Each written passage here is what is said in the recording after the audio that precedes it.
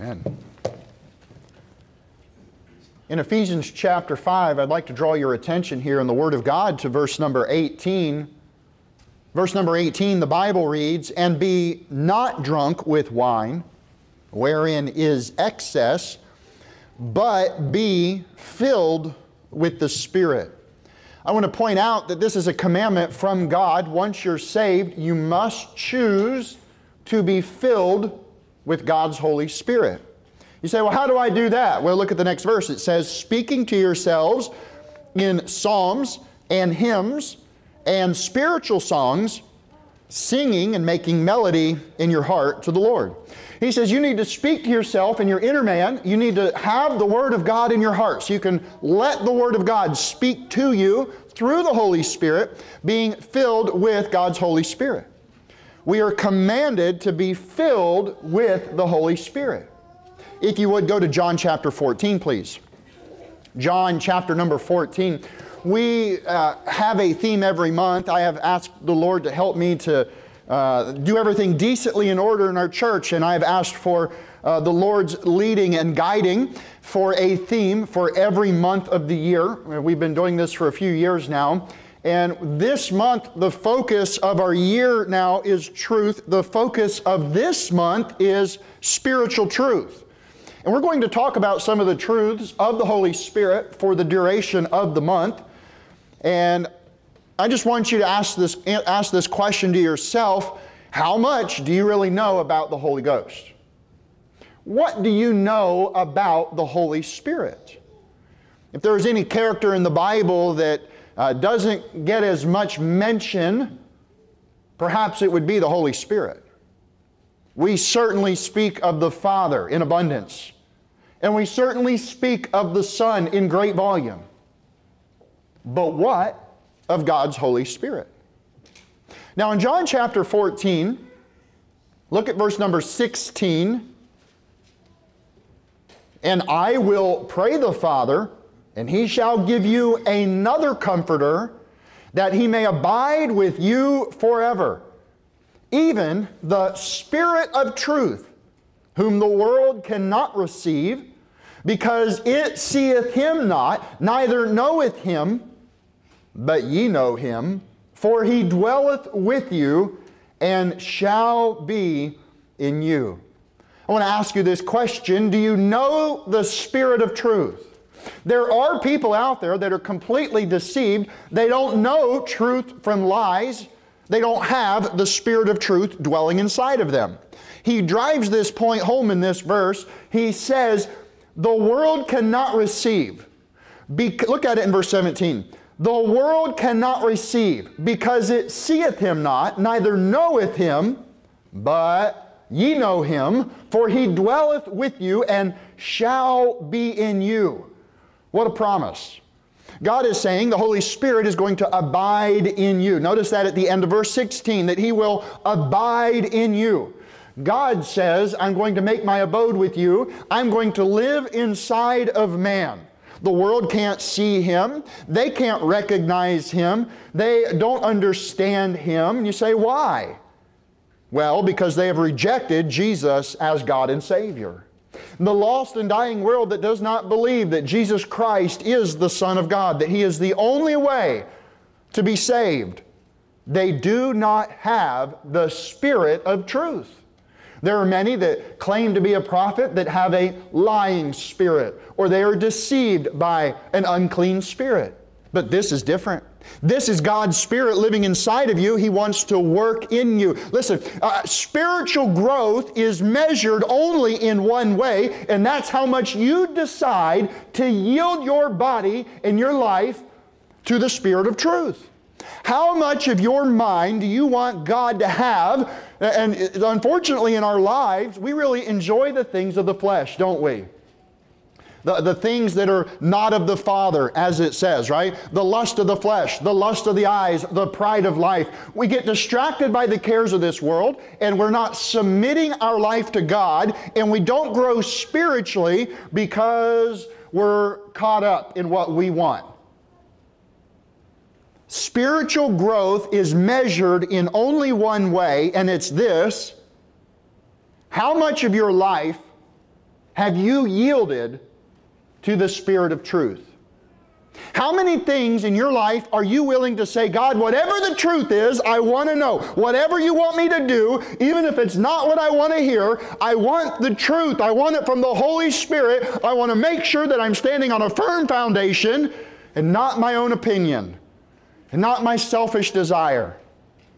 How much of your mind have you yielded to the Holy Spirit? How much of your heart, how much of your life, how much of your hands and your eyes and your feet and your tongue and so on have you completely given to God. That's how we can internally begin to measure our spiritual growth is when we grow up enough to stop being tossed to and fro with every wind of doctrine, to stop being childish in how we approach this life, being distracted by the cares of the world. This is such a beautiful promise that the Holy Spirit will indwell us I mean, this is awesome. This is God's power inside of us, the ability of His love to work through us. That is the evidence that people will see that say, Man, I felt the love of God talking to them. That's what God wants with us. He says at the end of verse 16 that He will abide with you uh, until you sin again. Is that, is that what your Bible says? What does it say? Forever. Does it say forever? Does God mean forever? Yes, He does. I want you to understand the eternal security of the believer has nothing to do with your good lifestyle. It has everything to do with the power of God. He will lose none of those that are His. No man will pluck you out of His hand. He will in no wise cast you out. He will never leave you nor forsake you. Hebrews 10, he says, once and for all, it's done, it's finished. Not because of my works of righteousness, because of His mercy, He saves us. God is so good, He loves us and He wants us to be saved, but then he, he makes it easy to be saved. But then He doesn't require you to have this big burden of living a perfect life to keep your salvation. Can you imagine if somebody that struggled with drugs or drinking or fornication, whatever it is, and you say, well, if you don't get rid of that stuff, then you're not really saved. Well, I thought Jesus died for all of my sins. He either died for all of your sins or you think you can lose your salvation. I ask you, do you know the Spirit of truth? Here it says the world cannot know him. So I ask you, do you know the Spirit of truth? If so, he's with you forever. I want to give you a few points, just facts about the Holy Spirit as we, we kick, we're kicking off a month we're going to learn as much as we can about the Holy Spirit, how He works, what He wants from us, and what we can see through that. I want to start by identifying, first of all, that the Holy Spirit is a person. The Holy Spirit is a standalone person, uh, for lack of a better term, but it's a Bible word. If you would go to 2 Corinthians chapter 13.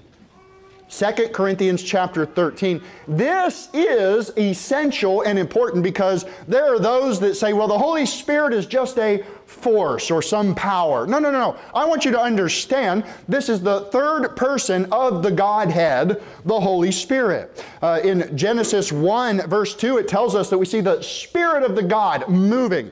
Right away in the first chapter, second verse, we see the Spirit of God. He has many names the Spirit of God, the Spirit of the living God, the Spirit of the Lord, the free Spirit, the Spirit of wisdom, the Spirit of burning. There are some really amazing statements. The Holy Ghost, the, the Spirit of grace, He's also called. He is called the Comforter. Now, the Holy Spirit is usually mentioned the Father, the Son, and the Spirit.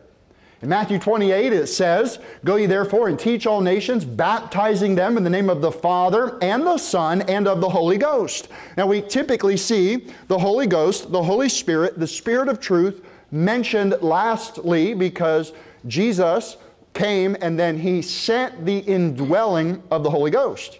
You're in 2 Corinthians 13. Go to the very end of that chapter. Look at verse 14. 2 Corinthians 13, verse number 14 the grace of the Lord Jesus Christ and the love of God and the communion of the Holy Ghost be with you all. We see all three again identified here and listed. Uh, go to John chapter 15, please. Go to John chapter 15. Being the third person of the Trinity does not indicate in any way that he is inferior. That is just typically the order of how the Lord presents himself. We know that in 1 John 5 7, it says there are three that bear record in heaven the Father, the Word, the Holy Ghost. These three are one. You say, one what? Well, it's one God.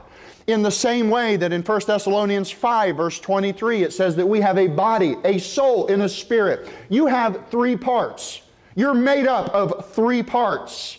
Why? Well, in Genesis 1:26, God said, "Let us make man in our image." So we have that spirit just as God has a spirit. We have the body just as he sent the son, and we have an eternal soul representing the Father. In John 15, I want you to understand that the Holy Spirit has a very unique role in your life. The Holy Spirit wants to help you. I often use the example, I'll say, you know, eh, eh, the Holy Spirit comes in at the moment that you get saved, and it's kind of like if I decided to move in. Uh, Brother Larry, I'm moving in. I hope you have a spare bedroom. I'm going to move in. And I was picking on him the other night, and uh, I said, uh, You got to get rid of all your, your rock and roll albums. And he said, All of them? And that's kind of what the Holy Spirit does, right? The Holy Spirit comes in and He says, I'm here to help you. I'm here to lead you and guide you and encourage you and all these other things that go along with it. And then you know what He wants to do? He probably wants to paint the walls a little and clean up. Start changing things from the inside out. So the Holy Spirit is here as our helper to help us to learn to pray to God, to help us to learn to uh, understand the Bible. There are many roles that the Holy Spirit plays. He loves you. I mean, He is God and He wants to be a part of your life. And if you love God and you're saved, you want the Holy Spirit to begin to take over and get more control over your life. And this is the struggle that every Christian has is how much room are you going to give the Holy Spirit? Brother Larry, I want the whole house. I want it all. I don't want you to keep me from anything. I want everything. And he's just say, no, no, no, you, you can have the closet, but you know, you're not getting the kitchen, all right? That's my kitchen. Isn't that typically what we do with God's presence? We kind of restrict, well, God, you know, I'll give you this area of my life because I know it was ruining me, but over here, I'm not ready for that yet. I'm still kind of holding on to this stuff. I want you to understand the Holy Spirit loves you. He is the Spirit of love. The fruit is love and joy and peace, etc. Well, we'll have a whole sermon on the fruit real soon and the gifts. But today I just want to ask you do you know the Spirit of truth? Do you want to know more? Let's find out the unique role. You're in first or John 15, right? Let's look at his unique role. Look at John 15, verse number 26. John 15, verse number 26. But when the Comforter is come, whom I will send unto you from the Father, even the Spirit of truth, which proceedeth from the Father, he shall testify of me. Isn't that neat? The Holy Spirit's going to move into you once you're saved so the Father, then Jesus says, I'm sending. So you believe on Jesus, then He sends the Holy Spirit to make His dwelling with you. Why? So that you can testify of the Lord Jesus Christ to other people. The Holy Spirit is there to help convert others. The Father sends the Spirit in the name of Jesus to teach us about Jesus and to teach others as well. It's interesting that the Holy Spirit cannot be seen. He is totally invisible, and yet the power of the Spirit of truth is undeniable. It's truly undeniable. Go to the next chapter. Go to John 16, please. John chapter 16. He indwells us at the moment that we are saved through faith in Jesus. And then it's forever. He's never going to leave. The question is, how much of the house, the tabernacle, are you going to give to him? Are you going to fight him every inch? Now, we're told that he seals us unto the day of redemption, so we're not going to lose that sealing of the Holy Spirit, if you will. We're told that he leads us into the truth and that he guides us, but I want to show you this that he also convicts us of our sin. Look at John 16, look at verse number 8. And when he is come, he will reprove the world of sin and of righteousness and of judgment. There are these three aspects of the Holy Spirit inside of you that God wants to use as you speak to a lost world. Number one, He's going to convict the world of their sin. He's going to reprove them, tell them that they're wrong. Now, it starts on the inside, by the way. That Holy Spirit's living inside of you. He's going to tell you you got something wrong you need to fix, and then He's going to lead you to tell others that without Christ, they're on their way to hell. Verse number 10, he tells us, continuing, he said, oh, I'm sorry, verse number 9, it says, of sin, because they believe not on me. Many times, as we go out and we compel people as we've been commanded, and we persuade people as we've com- been commanded, and we open the scriptures and we allege that Jesus is the Christ, the very Son of God, and we show the scriptures, some people will listen and they come to a point where they're just, I'm not ready, I'm not ready.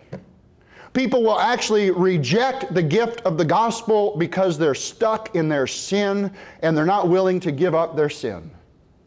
It's very sad. Don't you know Jesus died for all of your sins? But the Holy Spirit inside of you, just sometimes, I had one time I was walking up to somebody's house with a Bible, and I, I carry a big Bible because I'm blind. You know, it's not because I, I want to beat somebody up with it. I want to be able to see it from all the way back here. And when I'm talking to you, I want you to be able to read it as well, right? I'm not one of these hide it in a, in a pocket Christian, you know, like, well, take the smallest one you can find. Don't let them know why you're coming. Surprise them. No, I don't believe in that. I don't want to, you know, I want you to know why I'm coming. I had this one guy, and you could see him looking through the window. He's looking at me, then he looks at the Bible, and his eyes got real big. And then he, I don't want any of that. No, no, no, no, I'm not answering the door. Go away. That Holy Spirit with you will convict others of their sin, and sometimes they reject you because of their own sin. He tells us in John 16, again, verse 9, of sin because they believe not on me, of righteousness because I go to my Father and ye see me no more. And then verse 11, he says, of judgment because the prince of this world is judged. I have many things to say unto you, but ye cannot bear them now. Verse 13, this is important. Howbeit, when he, the Spirit of truth, is come, he will guide you into all truth. For he shall not speak of himself. Notice the humility in the Spirit of truth. But whatsoever he shall hear, that shall he speak, and he will show you things to come. I really believe I've met different people on a course in life where they begin to wake up that there is a new world order, a secret society. Revelation 13 tells us that there is a one world currency coming, a one world religion, a one world government, and there are people that discover these things and they're without Christ, and then they find out that the rulers of this world that are in spiritual darkness are literally worshiping the devil behind the scenes, and they say, Oh my, if they're worshiping the devil, that must mean that Jesus is real. Sometimes when you start looking for the truth and you find out what's on the other side, it helps you ultimately come to the fact that Jesus is God. That Holy Spirit will help lead us to truth and guide us into the truth. That Spirit of truth, He will guide you into, notice it says, all truth. All truth. Too many times we want to do it our own way, don't we? We're proud of man's accomplishments. Uh, I was recently speaking with an evangelist about a particular eschatological topic. And we were talking about some of the ins and the outs. And he says, Well, that's very fascinating. I like that. I like what you showed me in that verse. What, what kind of book? Do you have a book on that? I said, I don't have a book. I've got like Revelation. That's a good one. That's a good place to start. Isn't it oftentimes that in our Christian doctrine, well, let me, let me get a book. There's a book that a man wrote that explains what we have here. Why don't you just start here? Are you willing to throw all your books away and just read the Word of God and stand on what's clearly stated? Or do you come with this preconceived idea that, well, some man told me in his book that that's not what that means? Well, who wins? The Holy Spirit, the Holy Scriptures, the Word of God, or some smart guy? I had a guy recently tell me, uh, he actually stopped outside here out of the church. He was riding his bike, and we were talking about things, and he had homeschooled his children. And he said, I, you know, my children are very intelligent. And he said, but I always said I would rather my children be ignorant than wicked. And if the world wants to look at my children as ignorant because I homeschooled them, I would rather them be ignorant than wicked. Because that is what the public school is serving up, is it not? Pure communism, Marxism, Satanism at the core, utter perversion. They're after our children. Here it says it will lead us into all truth. Verse 14, look at it, John 16, verse 14. He shall glorify me, for he shall receive of mine and shall show it unto you. He's going to show us what Jesus has for us. I tell you, the Holy Spirit helps us to pray, doesn't He? He gives us utterance and He intercedes on behalf. Uh, if you will, go back to John 14. Go back a few pages. The Bible indicates that we pray to the Father through the Son, but we're doing it through the power of the Holy Spirit. And through this process, we see the unity in the Godhead, that all parts of God are in action. Some of the things I want to point out about the Holy Spirit as a person, He has a will. He has a will. In 1 Corinthians 12, verse 11, it says, Of the self same Spirit, dividing to every man severally as he will. He wants to give you spiritual gifts, and he, in his will, will give you what spiritual gifts you need. He also has a mind. Romans 8 27, he that searcheth the hearts knoweth what is the mind of the Spirit. The Holy Ghost has his mind. He has great knowledge. He has great knowledge. In fact, you're in, you're in John 14, look at verse number 26. John 14, verse 26. But the Comforter, which is the Holy Ghost, whom the Father will send in my name, he shall teach you all things and bring all things to your remembrance whatsoever I have said unto you. What a beautiful promise. That's what James was saying earlier. The Bible says all. I believe all. Amen. When God says all, it means all. And I want you to understand that the Holy Spirit is going to give you all things that you need in that moment as you submit to Him and you're willing to minister as God has designed you to.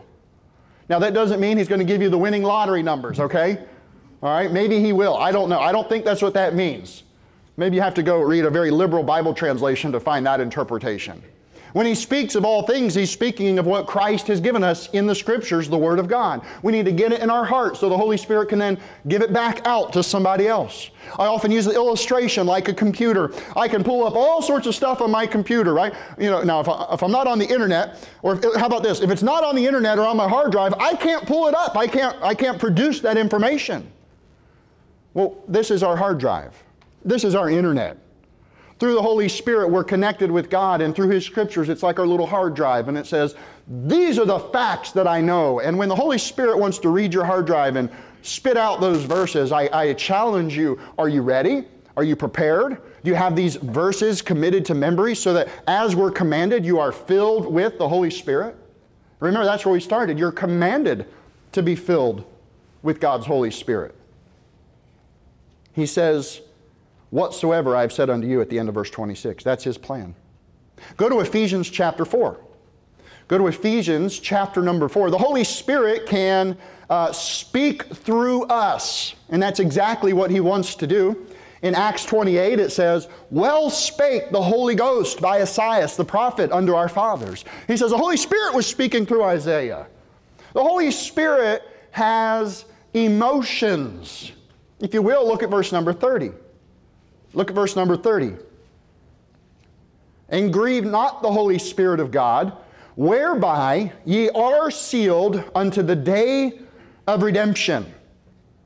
I ask you, are you grieving the Holy Spirit? Are you causing God's Spirit of truth that's indwelling you, are you causing Him sorrow because of your disobedience?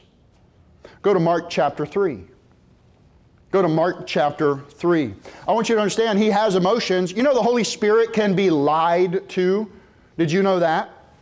In Acts chapter 5, it says, Why hath Satan filled thine heart to lie to the Holy Ghost? I want you to understand the Holy Spirit is a person. He's inside of you. He wants to use you, but you have to submit to Him. You have to choose to give Him some more ground, if you will. Give Him some more room. Uh, submit yourself so that you can grow. The Holy Spirit can be quenched. If you're saved and He's inside of you, you can quench Him, right? Uh, uh, that's like a fire when you throw a blanket on it or throw water on it. 1 Thessalonians 5.19, it says, uh, quench not the Spirit. He says, don't put out the fire that the Holy Spirit ignites in your heart. You know, the Holy Spirit wants to work through you to preach to other people to be a witness, to be a testimony. That's exactly what Jesus Christ did on the very day that He resurrected. He breathed unto them and said, Receive ye, receive ye the Holy Ghost. Whosoever sins you remit, they're remitted. Right away, he's saying, As my Father sent me, so send I you. Receive ye the Holy Ghost when he breathed on them. Now they have the power of the Holy Spirit. And he said, Go out and do everything that I've done. Go out and do what I've already shown you to do. And that's to preach the gospel. The problem is, many times, we don't give in to the leading of the Holy Spirit. Who's pulling who? Who's leading who? I give the illustration. My one, almost two year old, she loves to come and grab my finger and drag me along. And she'll go, yes, yes, and she'll point at something. She wants daddy to see there's something here, right? And most of us Christians, the Holy Spirit's like a little toddler doesn't have much power to move us. Whereas on the other hand, I have the power to grab her by the hand and pick her up and say, Come with me. Listen, as Christians, we ought to be like that. So when we feel the leading of the Holy Spirit, we're like, Carry me wherever you want. Take me wherever you want me to go. Use me in whatever way you want to use me. Now, we grieve the Holy Spirit. We don't do what He wants. We put that fire out. I had the opportunity recently, about a month ago, to preach the gospel to two friends. They had been friends for about 10 years, 15 years, as far as I can tell. They're both about 30, and they were, they were talking about some teenage stories they were doing. I felt the Holy Spirit leading me, guiding me, tugging me to preach to them, and I did. I preached the gospel to both of these men. One of them was sensitive to it. Yeah, I, I know I'm not going to heaven. Do you want to know? I, I do want to know. The other friend mocked me, blasphemed God, made a big deal about it. I ignored him, moved on from him, tried to dial in on the other guy. I want you to understand this the Holy Spirit can be rejected by unbelievers. Acts 7:51, ye do always resist the Holy Ghost, as your fathers did, so do ye. I remember that day because it was my birthday, and not that it was overly significant, but there's a, uh, another store down the road um, to make the story, the story short, and it's true. This guy goes to leave, and he's out there trying to crank up his motorcycle, the one that was blaspheming Christ. And in the flesh, initially, I'm like, yeah, it serves you right, buddy. But then again, that Holy Spirit started to prick my heart, and it's like, don't be mean to him. He needs help. About the time I'm going to walk out and help this guy, he needed a jump. Brother Chad and his family came through. There was a store down the way from where we're all working, and they were going to that store. And being my birthday, and because I had preached about chocolate chip cookies the day before, uh, Sister Alethea made some chocolate chip cookies. They brought me some as a gift. Really kind thing, really awesome. But Brother Chad stopped and he looked at this guy's Harley. You remember? And he knew, oh, it's this. And Brother Chad, he's a motorhead. He knows all this stuff. And he helped him get it started. What a blessing. I knew this guy's stepdad. He wasn't there. I met his mom when she brought in a Harley part a few weeks later because he kept having problems with the Harley. This past week on Wednesday night about 8:30, he got in a motorcycle accident. He was not wearing a helmet. He ran into another vehicle. He flew. He landed. He skid about 75 feet. I really believe that sometimes God gives people a last chance.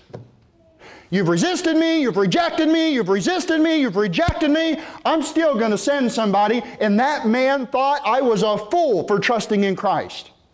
And he thought I was silly for trying to preach Jesus Christ and Him crucified in a work environment to some big old tough looking biker.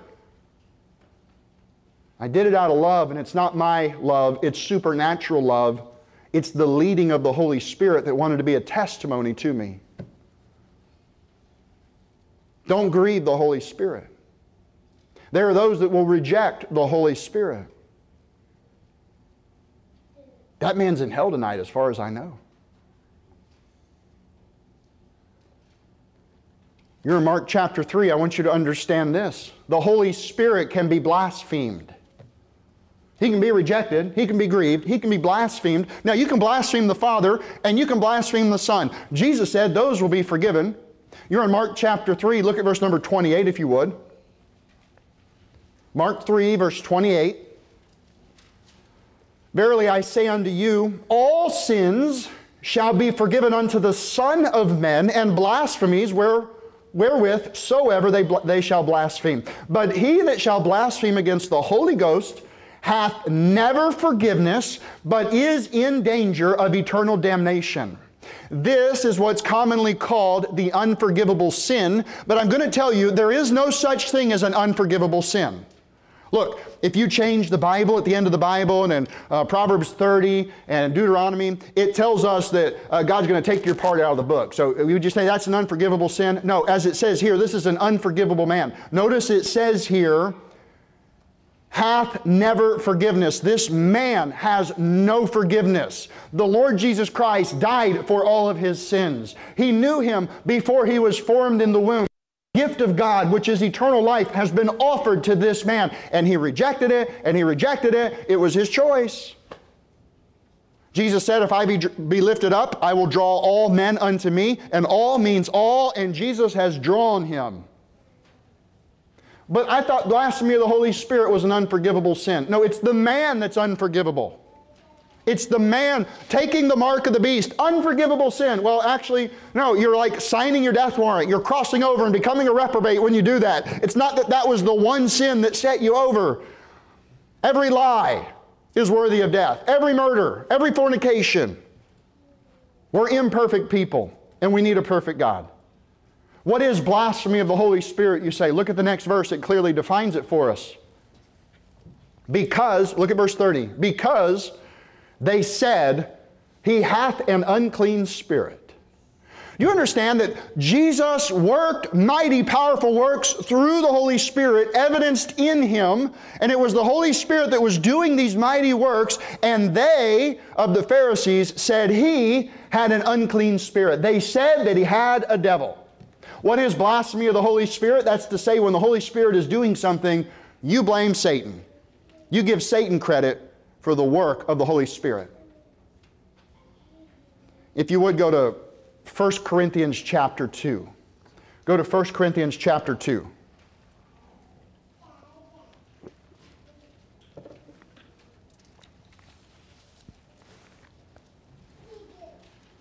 I want to encourage you in this. The Holy Spirit is God. He is 100% God. He is eternal. In Hebrews chapter 9, it says, But God hath revealed them unto us by his Spirit, for the Spirit, I'm sorry, I'm reading the wrong verse. Hebrews 9:14. How much more shall the blood of Christ, who through the eternal Spirit, so the Holy Spirit is called the eternal Spirit. The Spirit of truth is called the eternal Spirit. You say, how long does that last? Well, since the beginning. Before God ever spoke heaven and earth into existence, the Spirit of God was there. He's called the eternal Spirit. He is eternal. He is omniscient. That means He is all knowing. You're in 1 Corinthians 2. This is the verse I wanted to read to you. Look at verse number 10. 1 Corinthians 2, verse number 10. Please look at it. But God hath revealed them unto us by His Spirit. For the Spirit searcheth all things, yea, the deep things of God. The Holy Spirit knows all things. He searches all things. He knows what you're thinking right now, whether it's things of the Lord, what we're talking about, or whether your mind is off somewhere else. What are we eating? What am I doing tomorrow? How's the weather? How's my garden? When can I get back to watching TV? Oh, God forbid. I hope that's not on your mind. Go to 2 Timothy chapter 1. The Holy Spirit is all knowing, He's omniscient. In John 14, 26, I remind you, it said that the Holy Ghost, remember it says, shall teach you all things. He knows it all because He's God. He is omnipotent. That means He has all power. The Holy Spirit has the power to do whatever He wants. Now imagine this a spirit is described like a wind, uh, it, it is described like a force and a power, but yet it's a person. That Holy Spirit, I really believe He can knock over a wall or stop a red light to protect you from killing yourself. He knows what you're thinking. He knows where you've been. He knows where you're going. He knows all things. If you have cancer in your body, I believe the Holy Spirit can see through the flesh, and He knows that. He's aware of it. He's omnipotent. In Acts 1 8, it says, But ye shall receive power. After that, the Holy Ghost has come upon you. When the Holy Spirit comes on you in great power, I would say, let Him do what He wants to do. There's two, you know, I won't get into it greatly today, but the indwelling of the Holy Spirit happens at the moment you believe. It was introduced in John chapter 20, the day that Jesus Christ resurrected. That was the beginning of the new covenant. Everything was fulfilled. The death, the burial, the resurrection, that happened that Sunday morning that Jesus Christ arose and he breathed on them and he gave them the Holy Spirit as an indwelling. Now, prior to that in the Old Testament, it's not like the Holy Spirit didn't exist.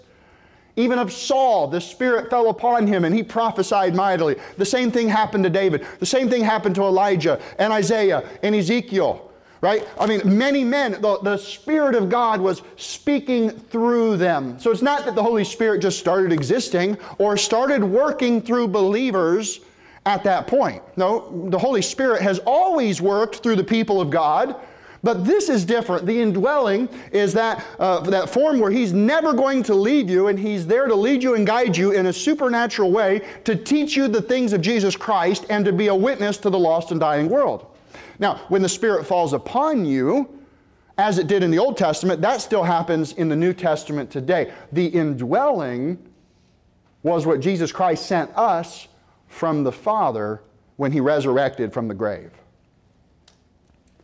In 1 Thessalonians 5, he says, For our gospel came not unto you in word only, but also in power, and in the Holy Ghost, and in much assurance. I want you to understand this the Holy Ghost inside of you will give you the power to do all things, and I mean whatever he wants to do with you. As much as you'll let him, he'll give you great power. You're in 2 Timothy chapter 1. If you would, find verse number 7. Please look down at verse number 7. For God hath not given us the spirit of fear, but of power and of love and of a sound mind.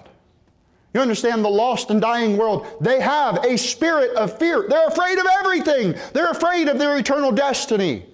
No, no, no. God has given us the spirit of power. God has given us the spirit of love. And God has given us of the spirit of a sound mind so that we can do His will if you will, go to Psalm 139. Go to the Old Testament, Psalms chapter 139.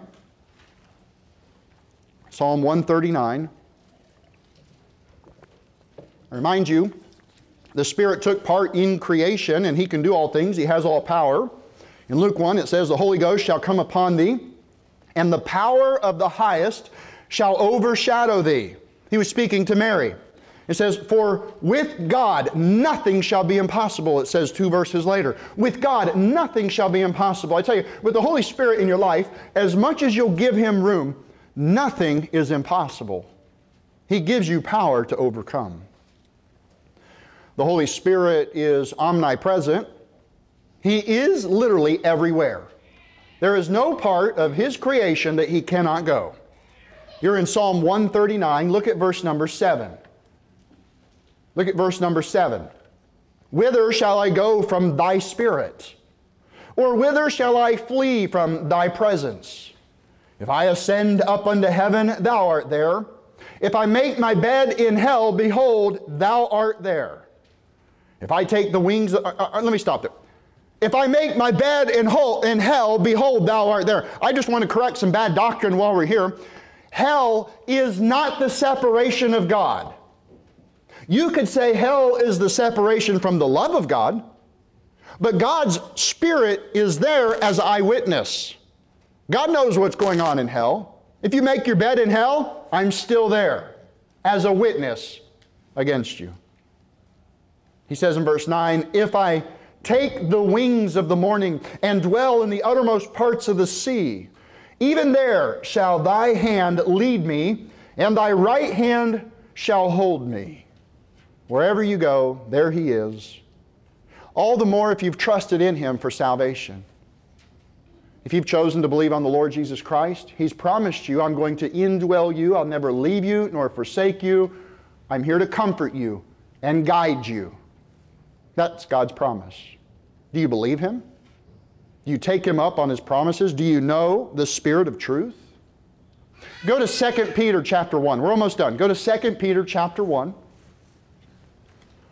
I just want to tell you the, the Spirit of truth, God's Holy Spirit, the Holy Ghost, I have to say it, He is holy. He's not unclean. He's not defiled or dirty or sinful or rebellious, to go along with what Brother Chad touched on in Sunday school this morning. He is like that white garment. He's pure. He is the truth, right? It says in 1 John 5, it is the Spirit that beareth witness because the Spirit is truth. He is our life. In Romans 8, it says, For the law of the Spirit of life in Christ Jesus hath made me free from the law of sin and death. The Holy Spirit, He is wisdom. He gives us wisdom. He gives us spiritual talents and abilities and spiritual gifts for His glory, not our own. He is seen or recognized in our life by the spiritual fruit that we allow Him to work in our life. He helps us to pray. Here I want to show you that the Holy Spirit, He gave us the Bible. 2 Peter chapter 1, go to the end, look at verse 21. 2 Peter 1, verse 21. For the prophecy came not in old time by the will of man, but holy men of God spake as they were moved by the Holy Ghost. When the Spirit of God falls upon you to speak through you, don't grieve Him. Open up your mouth. Preach the gospel. Let the Holy Spirit work through you. Go to Luke chapter 11, please.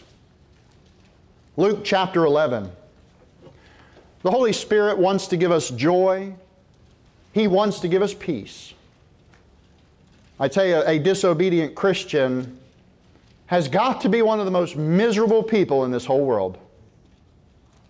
A disobedient Christian has got, I mean, we think that the drunk in the gutter that can't quit, he, that's the miserable guy. The guy on drugs, the one that just can't stop, that the devil's got a, a, a stranglehold on his life, that's the most miserable guy. No, no, no. I believe it's the Christian that's rebellious and disobedient that has the Holy Spirit indwelling them and he's grieving God and rejecting God and God begins to punish them to get their attention because listen, sin is only fun for a season and then it comes home. Sometimes God will be long suffering with you and patient and merciful and let you get away with some stuff that he does not prohibit. And then judgment comes. I believe some of the most miserable Christians are the rebellious ones that don't want to obey the Holy Spirit, that won't follow His leading and do what He says. And I, I just say this to encourage you don't quench the Spirit, don't grieve the Holy Spirit. He gives us those commandments. Don't put out the fire, don't extinguish the Holy Spirit's work in your life. Don't disobey the leading of the Holy Spirit, especially when He convicts you of the sin in your life. Don't reject Him and allow yourself to be controlled by an, an unclean spirit, a strange spirit, a disobedient, sinful spirit. I'm going to warn you there is a sin unto death. There are many Christians that crossed a line with God, and God took them home early. There are certain sins that God says, that's it, I'm done, I'm killing you, and you're coming home. Don't sin unto death. Don't rebel against the Holy Spirit. So here's the question Do you know the Spirit of truth? So here's the question How can I be filled with God's Holy Spirit so that I'm pleasing Him instead of grieving Him? You're in Luke chapter 11. If you would, look at verse number 13. Luke 11. How do we get filled with his spiritual joy? Verse number 13. If ye then, being evil, know how to give good gifts unto your children, how much more shall your heavenly Father give the Holy Spirit to them that ask him. How can I be filled with the Holy Spirit as I've commanded? Well, it starts by asking Him. Ask Him. Petition Him. Beg Him. All of you that have children know that there are sometimes you, well, you go through the store and it's like, Daddy, Daddy, oh, I want that. Can I get this? I want that. Hey, do you ever go to God with that sort of an attitude? God, I want my joy back, Lord. Whatever it takes, will you fill me with the Holy Spirit? Will you give me that peace? Will you use me so that I'm fulfilling my purpose, my duty to you? Are you fired up? Are you after that blessing? If you would go to Colossians chapter 3, and we'll stop there.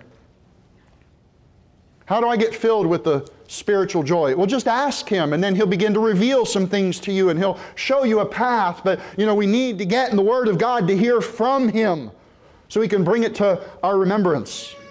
We started in Ephesians 5 where it says, Be filled with the Spirit speaking to yourselves in psalms and hymns and spiritual songs, singing and making melody in your heart to the Lord. You got to start by getting the devil's music out of your ear. You got to get the Word of God in the form of memorization and song into your heart. That's why I love these old hymns. There is good doctrine in these hymns, it's glorifying God. You're in Colossians 3. Finally, look at verse number 30, or verse 16. Colossians 3, verse 16. Let the word of Christ dwell in you richly in all wisdom, teaching and admonishing one another in psalms and hymns and spiritual songs, singing with grace in your hearts to the Lord. I want you to understand, he starts out this verse by saying, Let the word of Christ dwell in you richly. The Holy Spirit speaks to you through the Word of God. When's the last time you got alone, carved out some time, and just said, God, talk to me, speak to me, show yourself, I want to hear from you? He says, Come to the throne of grace boldly. And I'm telling you, come to the Word of God with all boldness and confidence that He'll answer you. You know, it's the Christian religion that has it right, and not all Christian religions, there are many that are false. The Catholics want to tell you about their popes and their councils, don't they? Well, 400 years ago, a bunch of us got together and we argued about something, and here's what we've decided. No, no, no. Let the word of Christ dwell in you richly.